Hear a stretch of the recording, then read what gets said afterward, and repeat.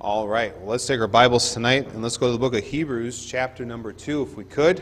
Hebrews, chapter number 2. President Woodrow Wilson once received a call in the middle of the night from a civil servant who informed him that one of his appointees had just died. The caller said, Well, I'm sure we are all saddened by this news. I would like to know if I could take his place. Well, there was a pause at the other end of the line before the president replied, Well, it's all right with me if it's all right with the undertaker. Think about that just for a little bit, all right? As comical as that sounds, the subject of death is probably the most sub- sobering subject to discuss, isn't it? Tonight, as we continue our series, Eternal Things, we're going to consider this subject matter in greater detail because it is this event, the passing through death's door, we enter into eternity. The time when the reality of the invisible world will become vividly visible to us.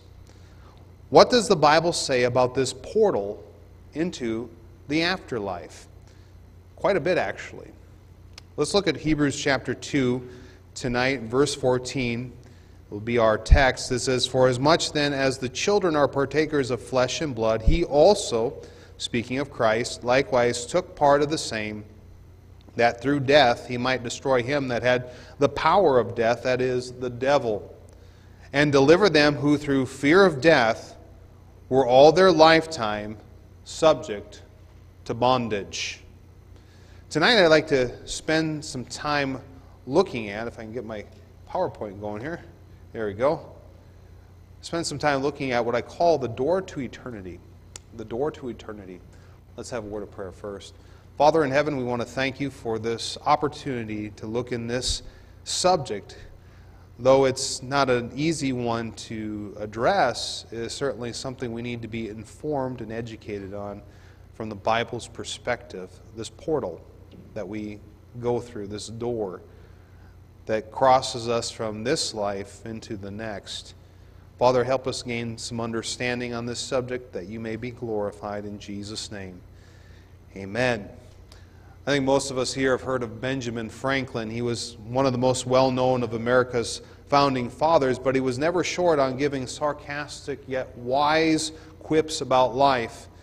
He wrote one time uh, about the, the newly signed Constitution and in the midst of his, of his writings, he made this statement In this world, nothing can be said to be certain except death and taxes. death and taxes. You know, if life has one guarantee, it is that we are all going to die one day. That's a guarantee.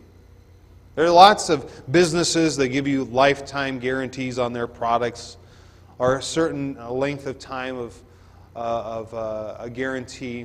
But really, there's only one true guarantee out there is that one day we will pass through this portal, this door into eternity.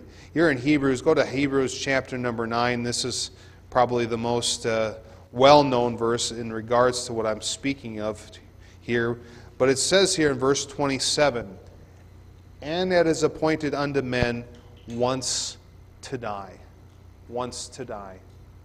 But after this, the judgment. We'll get into that portion in another message. But the point tonight is this is our guarantee. We will all pass through that door to eternity unless we happen to be the fortunate people who are alive when the rapture takes place. And that's kind of what I'm hoping for. I like to go up versus before going down first, if you know what I mean.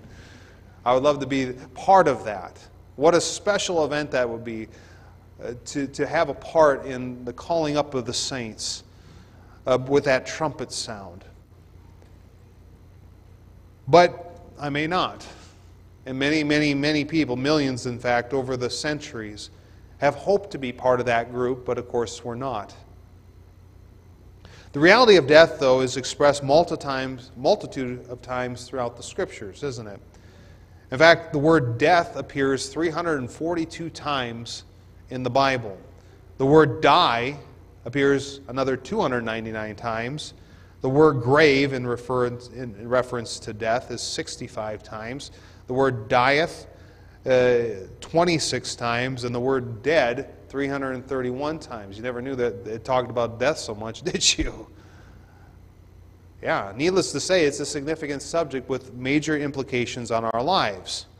Now, death originated with the introduction of sin into the world. The Bible makes that statement very clear in Romans 5, verse 12. Wherefore, as by one man sin entered into the world, and what? Death by sin.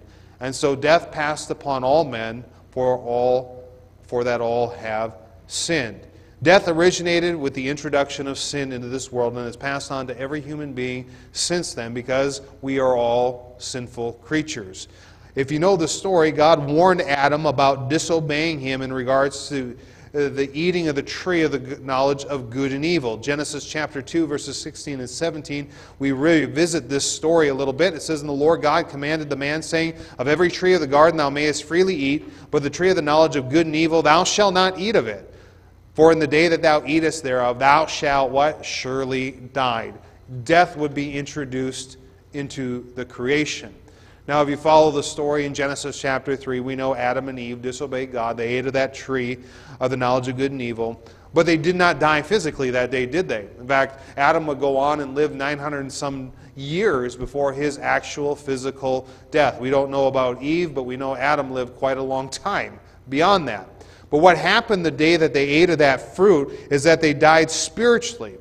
In other words, they became separated from God as a result of what they did. Because the word death actually means separation. There's a separation that takes place. And when you think of death, uh, what happens, at least what we're most familiar with, physical death, you have the soul that separates from the body. And, uh, and, and there's, there's that example. When Adam and Eve sinned, a, a process of death really began. A process that started with spiritual death. Eventually, it would lead to physical death. And ultimately, it would lead to eternal death, if you will. The Bible says that we are naturally, as a result of their sin, born dead spiritually. Uh, Paul mentions this to the Colossians in chapter 2 and verse 13. And you, being dead in your sins and the uncircumcision of your flesh, hath he quickened together with him, or means being brought back to life, having forgiven you all all trespasses. I can't get into the whole depth of what this verse is talking about, but he, he's writing to the Colossian Christians, and he said, You were dead initially. You were dead in your sins. You were dead spiritually. You were separated from God. Well, eh, over the course of time, of course, they would eventually die physically, as it is appointed unto men once to die, speaking of the physical death because of our sinfulness. And if our sins are not atoned for and dealt with in this life before we die, we'll ultimately die eternally.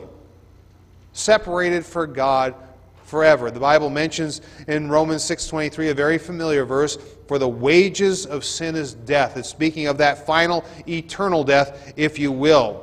Now the Bible refers to that eternal death as the second death. If you go to Revelation chapter number 20, Revelation chapter 20, we see it mentioned in verse 6. It says, Blessed and holy is he that hath part in the first resurrection. On such the second death hath no power, but they shall be priests of God and of Christ and shall reign with him a thousand years. So notice the second death is mentioned here, but you have to continue on to get a fuller understanding of what that all means. Verse 13, it says, This is, uh, this is on the day of judgment when God judges those who are unsaved. And the sea gave up the dead, the spiritually dead, which were in them, and death and hell delivered up the dead which were in them. And they were judged, every man according to their works. And death and hell were cast in the lake of fire. This is the Notice the second death. And whosoever was not found written in the book of life was cast into the lake of fire. Look at verse 8 of chapter 21. It says, But the fearful and unbelieving and the abominable and murderers and whoremongers and sorcerers and idolaters and all liars shall have their part in the lake which burneth with fire and brimstone, which is the second death. Say, why is this referring to the second death? Well, when people die physically lost, they go to what we refer to oftentimes as hell. Okay? It's a holding place, really. It's a torturer's place, it's a place of torment. But as you see here on the day of judgment, we'll get into this more when we cover this subject matter, they are actually brought out of that holding place. And, they, and that's where they stand before God. And then they are rightly judged accordingly. They, they have their time in court. It's like, it's like when, when somebody is put in prison here before their trial, they're in prison for a certain amount of time. In this case, there is no bail, no bail bonds to be sold here. And, and they await trial. They're brought back out. They're found guilty. And then they are cast into God's form of federal eternal prison, which is the lake of fire. The, lake of the, the, the, casting into the lake of fire is the second death, where ultimately there will be the eternal death. In other words, the eternal separation from God forever. That's the synopsis of what, what this process of death, that's what it's going to culminate to. Now, nobody in their right mind wants to participate in the second death, though Jesus Christ himself said, actually, most will, sadly. Matthew 7, verses 13 through 14. Enter ye in at the strait gate, for wide is the gate, and the broad is the way that leadeth to destruction, the second death. And many there be which go in thereat. Many. Now, many is more than a few, right? I don't know what the percentage is, but many is still more than, than a few. Because strait is the gate, narrow is the way which leadeth unto life, and few there be that find it in comparison to those that are going to heaven, there's only a few in comparison to the many that will be going in the opposite direction. Because the only escape from the second death is salvation. In other words, accepting Jesus Christ as your sin bearer, being saved or born again, as the Bible put it, puts it. Having a time in your life where you recognize that that uh, your sin is sending you out into this second death destiny. But with a heart of contrition, you're willing to uh, acknowledge the terribleness of your sin and repent of it, willing to go in a new direction in life while you trust Jesus Christ alone to blot out that sin account instead of yourself anymore. You do that by faith. And if you're from your heart of your heart are willing to accept those terms. All you have to do is ask Him to save you, and He will. And He'll pull you off that road to the, from, uh, that would lead you to the second death, the lake of fire, and He'll put you on the road to heaven. That, those are the terms of getting out of that predicament, because we're all naturally born on that road. That's why it's so significant that one prepares for the moment he or she passes through death's door into eternity so that they know that they're in the right spot when they get there. For we are on that side of death's door much longer than we are on this side. Far longer. Today, let's consider some thoughts in light of our subject. Let's consider first off what I call the fear the fear. Now, our text back in Hebrews chapter 2 addresses the reason death is such a sobering subject. It's a very heavy subject, isn't it? You know, maybe tonight you came and you're hoping to be edified, and maybe more tonight is a little bit more on the education side. But this is something, this subject is so important because we just kind of dismiss it from our minds because it is heavy. And it is hard, but it's a reality that, if not faced, will lead to something more horrific than anybody can ever begin to explain or imagine. And, and our, our text addresses the reason, the reason why death is such a sobering subject. It's the fear that's associated with it. it mentions in verse 15, and deliver them who through fear of death were all their lifetime subject to bondage the fear of death. In fact, it's such a debilitating fear that it robs people of life while they live. You realize that? It robs people why because they're scared to death of doing certain things. Well, if I do that, I, could die. I could, if I do this, I could die. And this robs God's people of even going out by faith trying to do things because, well, you know, if I went to a mission field, I might die. Or if I, if I, if I went across the street, I might die. Well, maybe not, I don't know. I don't know your neighbor, I guess.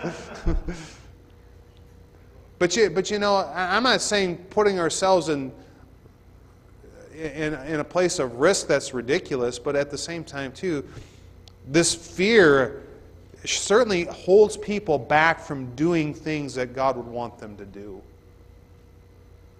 And of course, unsaved people, I mean, it goes even further. It's been said that we aren't prepared to live until we are prepared to die. Because when we're prepared to die, we don't have to, we don't have to fear death, at least not to the extent that we would. Because unpre- being unprepared to die causes great fear, and you can understand why. So, why is death so fearful? Well, there's several reasons. Number one, it's final, right? It's final. Once you pass that door, there's no going back. You know, it's not like a revolving door. You walk in and you can just follow it through and come back out. Let's see what's inside and go back out. No, it doesn't work that way, does it? Once you pass through that door, that's it. Death is an undefeated human foe. There has been nobody in their own strength who has wrestled themselves up from the grave. Nobody who has beaten death back, if you will. Once death takes you on, that's it. It is over. Psalm 89, verse 48 What man is he that liveth and shall not see death?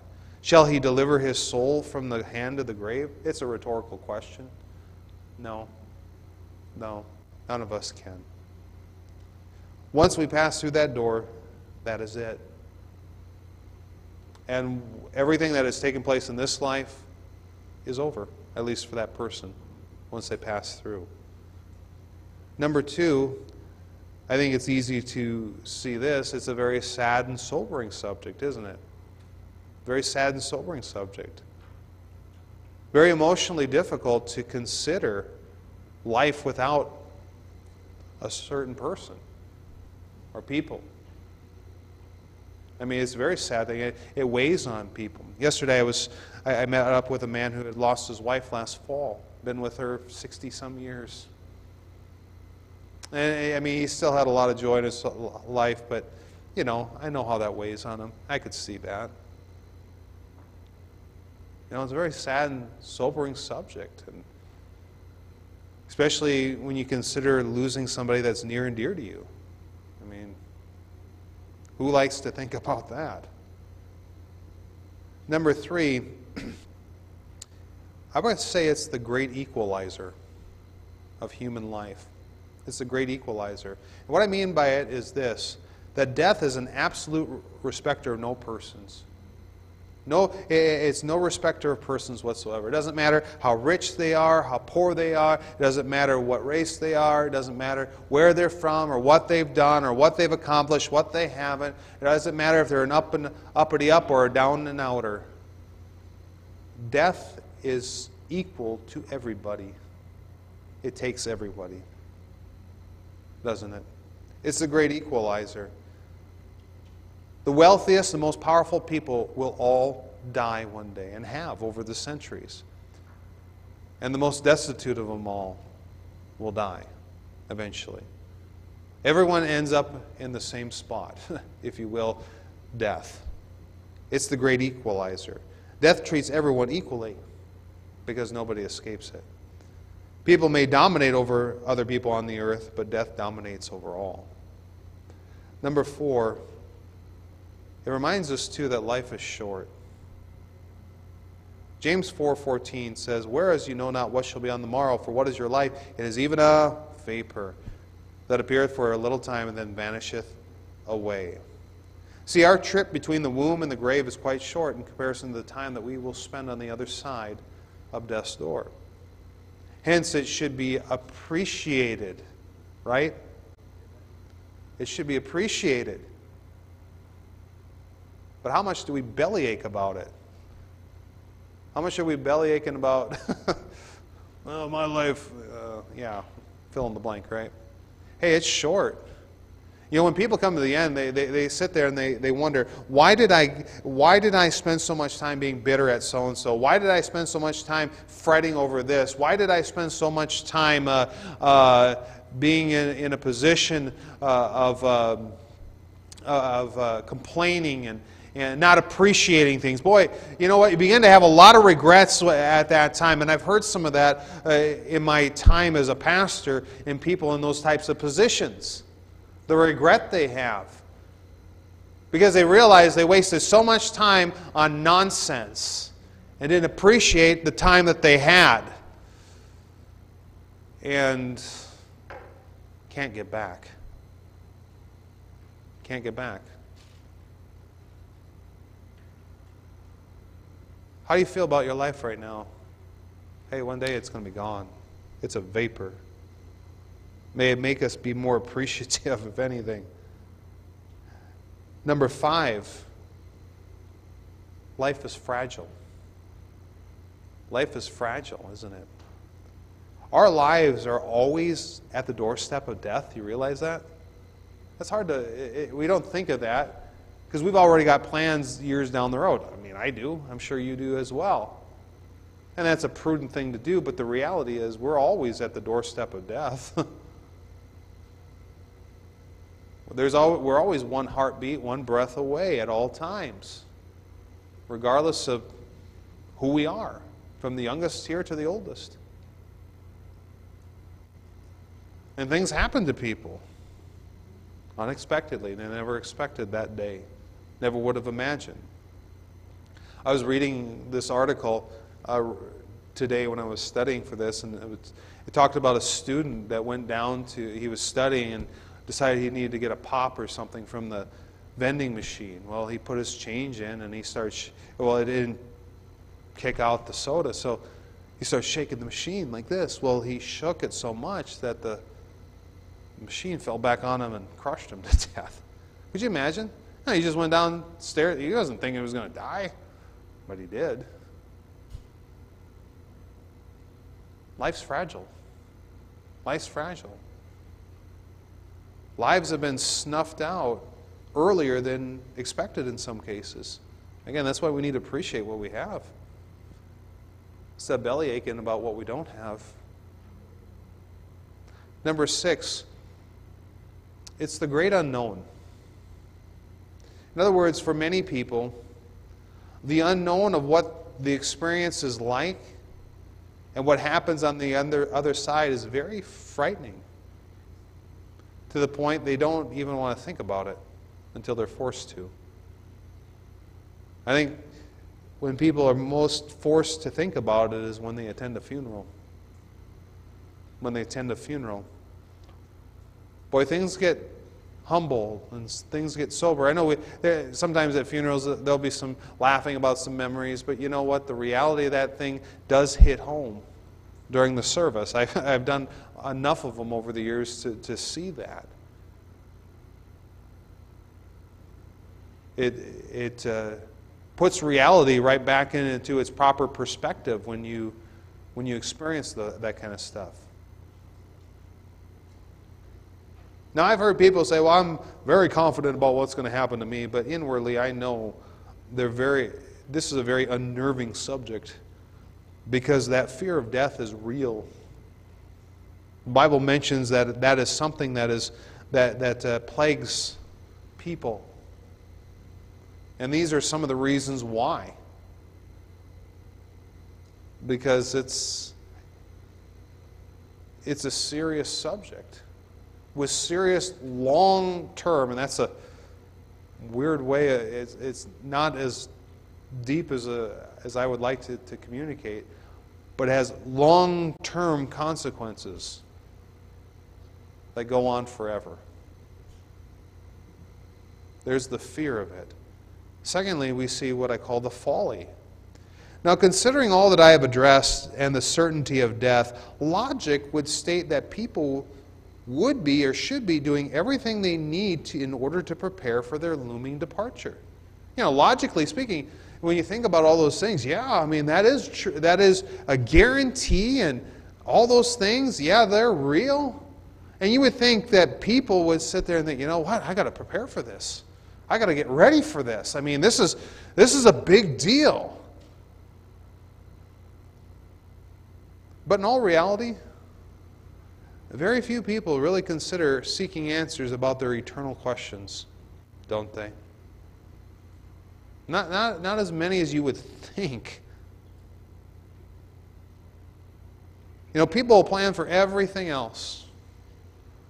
I've, I've met people who have master plans for their careers, master plans for their retirements, master plans to disperse their wealth after they die.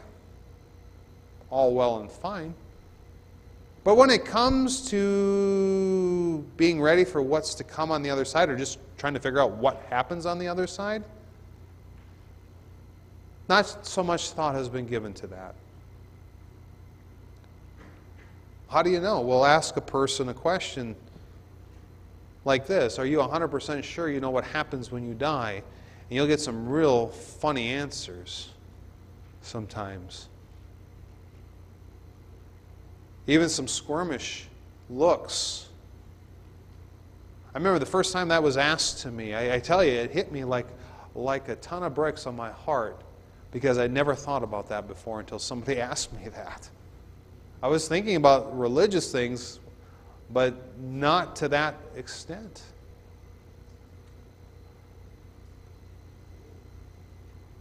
You get a lot of answers that, that somewhat are communicated like this Well, I hope so. I think so. But it's, but it's kind of, in many cases, it's a little shaky. Now, you'll get occasionally one, oh, yeah, I know so. And I'll say, well, how do you know that? Well, I'm a choir member. I go to church and I do this and I do that. You know, they, they'll give you the resume that's about a mile long. And, but, you know, it's nothing to do with salvation at all. It's just all these things that they've done. So they figure that they're a shoe in. Well, according to Matthew chapter 7, there are going to be people like that. And Jesus said, but they're going to get the shock of their life when they show up on eternity's shores. But there are a lot of people, if you ask them directly, if you died right now, do you know if do you know where you go or you know what would happen? And and they don't know that for sure. They'll try to give you some kind of side hope, but there, there is that element of doubt, and that can be sensed as you talk. I had that. I answered that question like that too. And of course, the guy who witnessed to me knew how to answer me. You know, God says in His Word that people can know before they die they're going to heaven. 1 John 5:13 These things have I written unto you that believe on the name of the Son of God that you may know that you have eternal life and that you may believe in the name of the Son of God.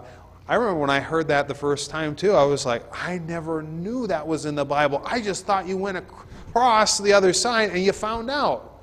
What a horrible way to live by the way. And when I saw that I could know, I'm like, well, I'd like to know how I can know and you know, long story short, it led me to salvation over the course of time. But God wants people to know that.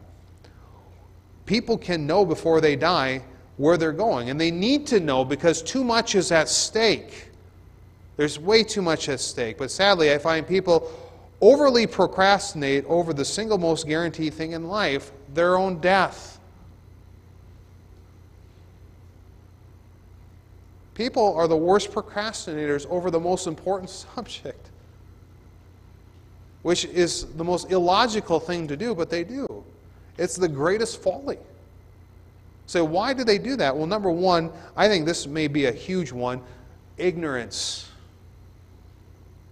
Many people simply don't know or question if they can know the certainty of what happens when they pass through death's doors. A lot of it has to do to what they've been too exposed to religiously speaking. Okay? They may have been given a lot of bad information, like I was, about it. I believe many people assume, unless you are really, really, really bad, by human standards, but that is, unless you're really, really, really bad, you'll go to heaven so most go there, right? Many people believe that they have done far more good than bad and are ignorant of basic Bible statements about their condition in comparison to God. Where the Bible says in Romans 3:23, all have sinned and come short of the glory of God. Romans 3:10, there is none good, there is none that doeth good, no not one. James 2:10 says we can keep the whole law fit in one point, yet we're guilty of all. That the only way you can be good enough to get to heaven is that you got to be God, because He's the only one that is good. Right? Our verses like Ephesians 2 8 and 9 we're well familiar with. For by grace are you saved through faith, and that not of yourselves. It is the gift of God, not of works, lest any man should boast. In other words, there's the ignorance of just what the Bible has to say about it. Or even greater ignorance in response in respect to what is truth. Sadly, many never want to dare question what they believe. Few do. Or begin looking in the scriptures, or they just say, Well, I believe my minister, whatever he goes by. And it's like ignorance is bliss. It's not. Ignorance is not bliss when it comes to this matter. And it's worth the time for somebody to seek out real answers and be settled on that instead of just taking the cheap insurance policy that so much religion offers. Because if you get this wrong, you can't go and do a real redo. You can't go back and demand your money back. You can't go back and complain to the one who sold you the, the, the, bad bill of goods. Because once you go through, that's it. There's no going back. And you need to be very sure that what you believe is true. Because if it is not true, you're out of luck. And there's a lot of deception out there. And I believe if you truly want the truth, the truth will hit you right in the face. It's a matter of you just accepting it.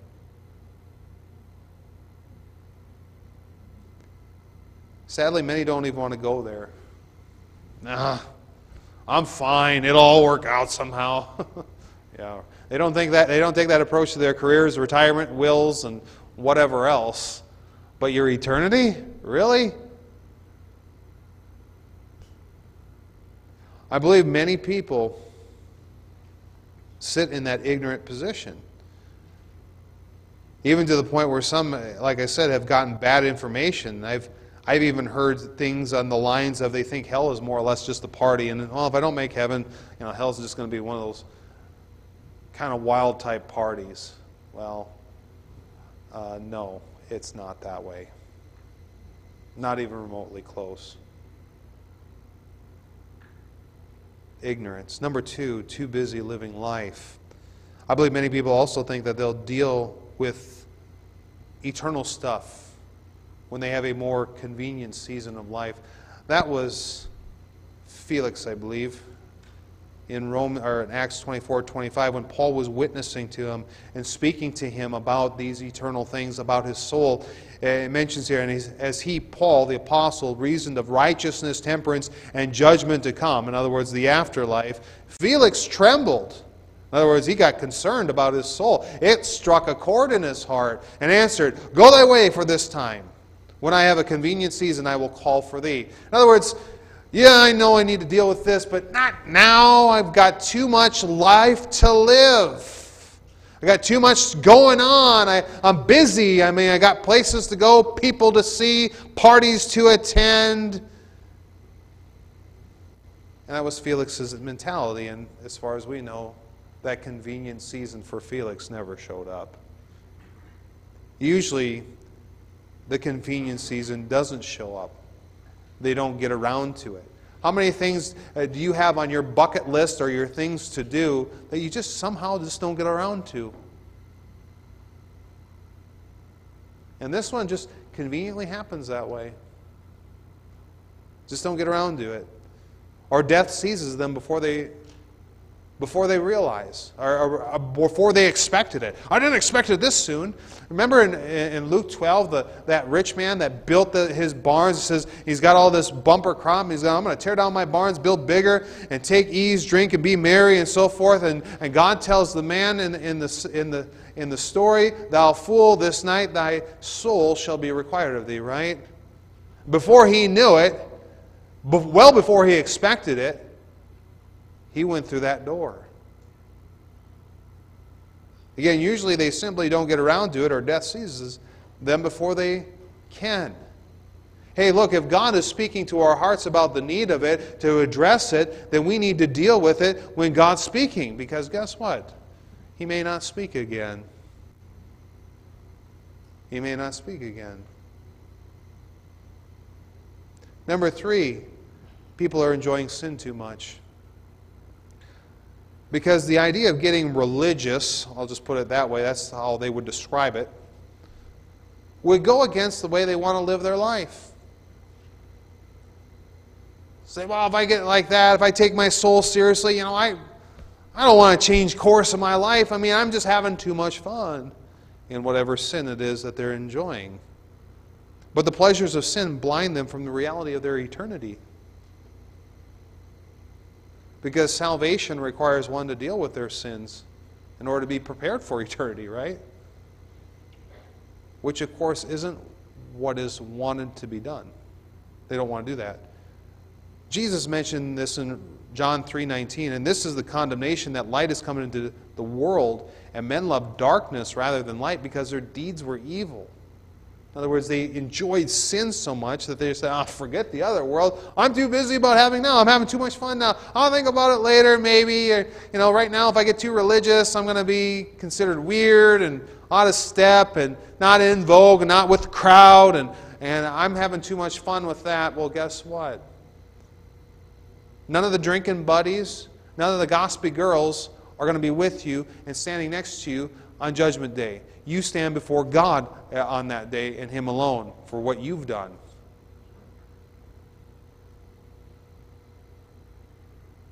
Hey, light is coming to the world. Don't allow darkness, a love for darkness, to squelch out that light. But people do. That's a big folly. Number four, it's uncomfortable. Of course, the idea of death is uncomfortable, it's fearful. Sometimes so much so people just want to ignore it. They just kind of want to go walk around and go la la la la la la la la. You know, I don't want to hear it. I don't want to talk about it. Let's talk about positive, happy things.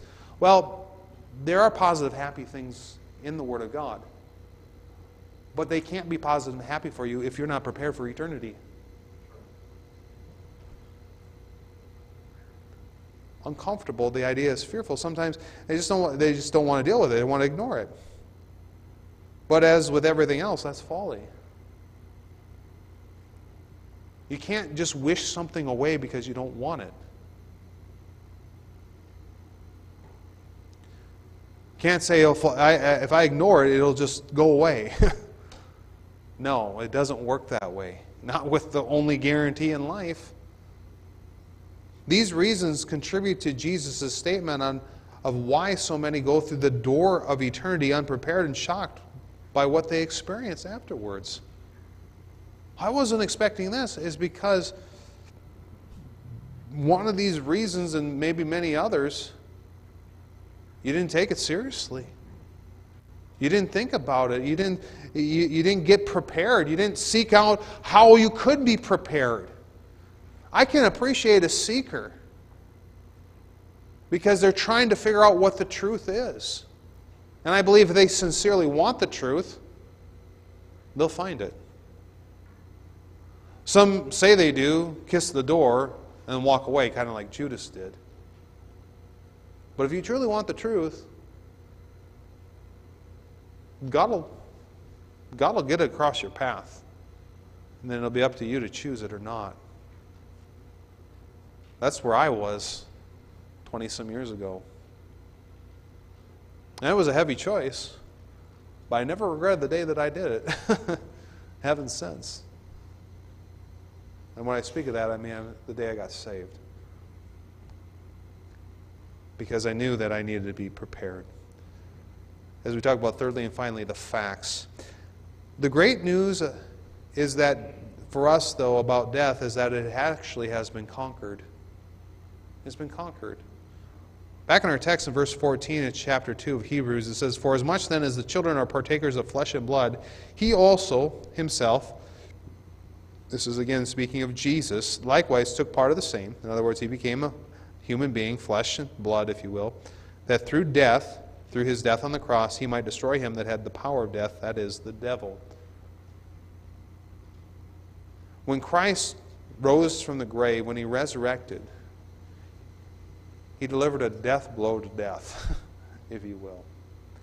That was one of the big reasons why, if you study the book of Acts, you see the word, you see that they were preaching Christ and the resurrection. That was a big thing. To know that there is something beyond death, something that was more promising than the life now.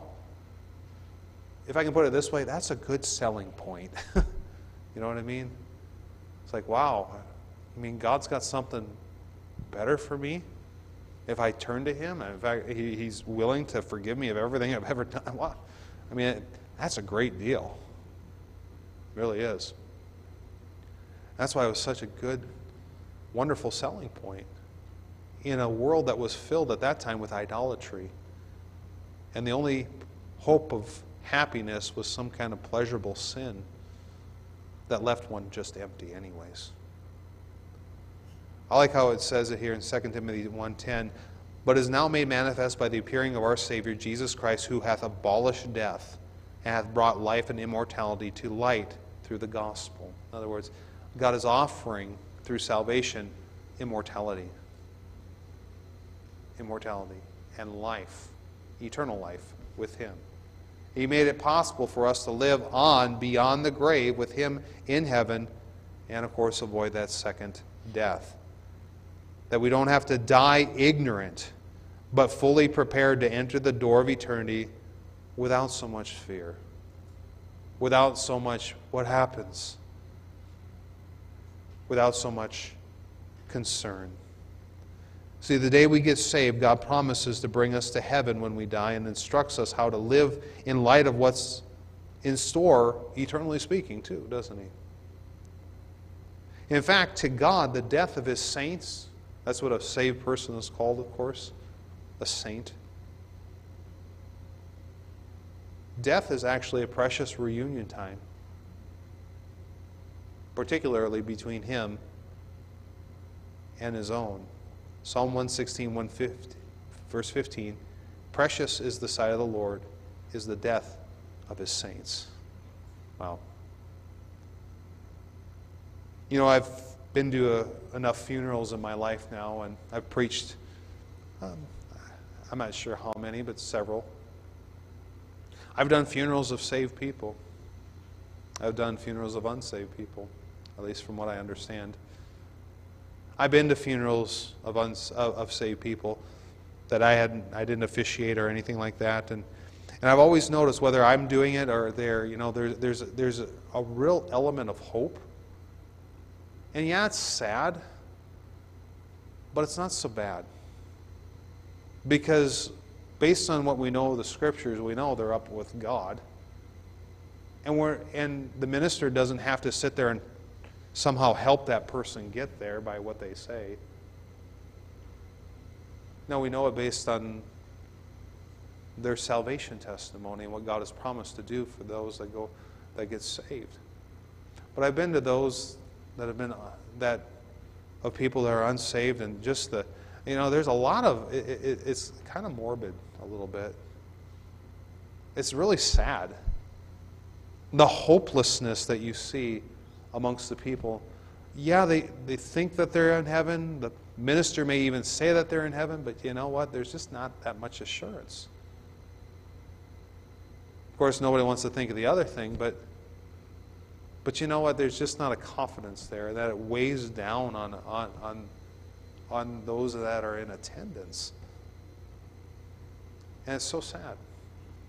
I'm thankful. I, have enjoyed, as much as you can enjoy a funeral, I guess, being able to preach and, and do officiate those funerals of saved people because, you can give that confidence and you can give that assurance. In fact, uh, some a few years back, I, I was able to do a funeral service, more or less a memorial service, for a little baby that had died. Mother didn't know a whole lot about the scriptures, as far as I know. But to communicate what the Bible says about a baby going to heaven, you know, not, you know, not, not even if they weren't baptized and all that kind of stuff. And that, and that mother, after the service, came up and gave me a big hug and just was just in tears and was just so grateful for that. To know those truths is very liberating, isn't it? To know what the Bible says and have confidence about that sure takes a burden off, even in those very, very delicate times. But in other cases, it's not. And it's sad because there's just so much unknown. The day is coming, though, as well, that God will once and for all eradicate death from the creation. And that's going to be a really wonderful day. If you go back to Revelation chapter 20, says here in Revelation 20, verse 14, of course, we read this earlier, and death and hell were cast in the lake of fire. This is the second death. In other words, God gets rid of death, He, he, he casts it aside. It will no longer exist. Verse chapter 21 of Revelation in verse 4 And God shall wipe away all tears from their eyes, and there shall be no more death. Neither sorrow nor crying, neither shall there be any more pain, for the former things are passed away. Death will be gone because sin will be eradicated from the creation. The sting of death will no longer exist, it will cease to be experienced. And that will be nice, not to have to think about that separation process ever again. But until that time, people will still go through that door to eternity. The question is first off, are you prepared for it? Second off, if you are prepared for it, how many people have you been helping to get prepared for it? Because there's a lot of ignorance out there. Because the day is coming for all of us. And it's a folly not to be prepared. It's foolishness. But God has a means in which we all can be. Hopefully, we've taken that up by God's grace. Let's stand to our feet tonight. With every head bowed and every eye closed, we're going to spend a few moments tonight just in a word of invitation. I understand it's a very